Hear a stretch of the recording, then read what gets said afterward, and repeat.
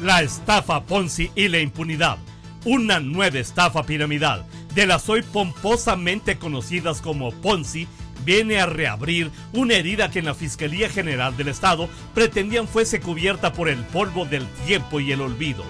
Y es que a pesar de que la oficina de Jesús Figueroa Ortega se afana cada día en colgarse incluso las medallas de las sentencias que emite el Poder Judicial, nada dice acerca de la farsa donde la Fiscalía investiga a la Fiscalía.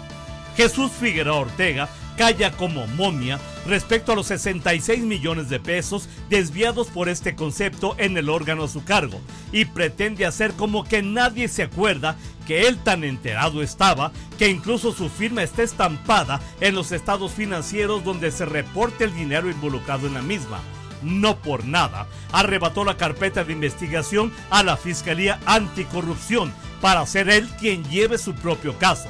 Tampoco nada se sabe aún, ni hay responsables por los 213 millones de pesos que por la misma vía se desviaron en la Universidad Autónoma de Aguascalientes, ni en el caso del ISPEA. El fiscal Figueroa se justifica diciendo que existen órdenes de aprehensión, las cuales no sirven de nada si éstas no derivan en detenciones. En mal momento apareció un nuevo caso de la pirámide orquestada por la empresa Jox Holding, originaria de Guadalajara y que aquí operaba en Plaza San Telmo, pues el mismo le viene a recordar al fiscal Figueroa que nada ha hecho para resolver la estafa con dinero público de la UA, el ISPEA y la propia fiscalía.